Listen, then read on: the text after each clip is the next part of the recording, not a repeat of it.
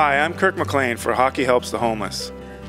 Hockey Helps the Homeless brings hockey pros and fans together on the ice to raise money to help homelessness in Vancouver, bringing in more than $1 million since the tournament began in 2009. We won uh, our first game. We won 4-2 thanks to our goalie over here, Wayne Moore. He was outstanding. And uh, we have a great bunch of pros on the room. We have the two Flockhart brothers from Sicamous, BC and Kamloops, BC. Awesome organization, awesome bunch of guys.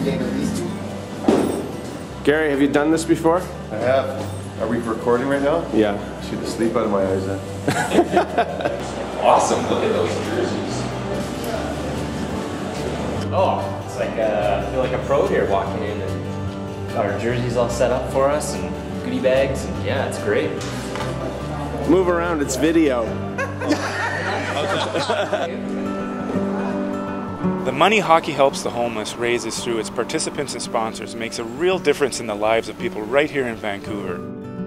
We have funded projects like a refurbished kitchen at Rain City Housing, new beds at the Salvation Army, and more, including the construction of the women's shelter at the Bloom Group facility on Powell Street.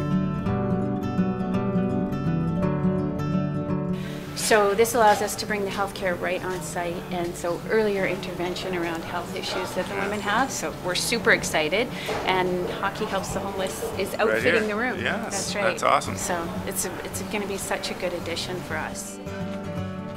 So Hockey Helps the Homeless has contributed $100,000 to this project. It was a really significant part of completing the project, adding in the furnishings that we needed to make the space respectful and welcoming and warm and fresh.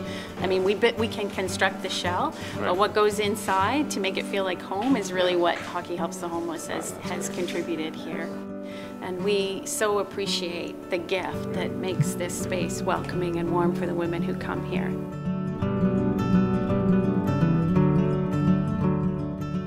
This year's event is on track to make more than $300,000 with the participation of NHL alumni members like me, and for the very first time, members of the Canadian Women's Gold Medal Team 2012 Sochi Olympics.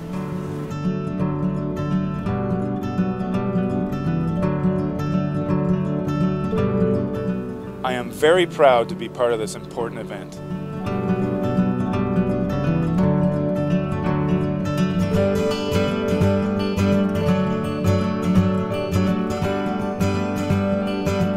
Learn more or donate at hockeyhelpsthehomeless.com.